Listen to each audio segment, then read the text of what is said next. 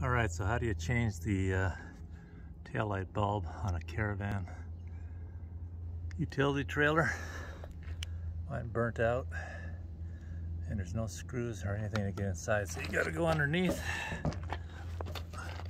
And then what I did is I just got this little screwdriver and I just gave it a good whack with my palm here hit it hard and then this plate comes down and you just go inside there and the bulb is right inside there and then you can replace it. That's how you replace the bulb on a taillight of a Karavan trailer.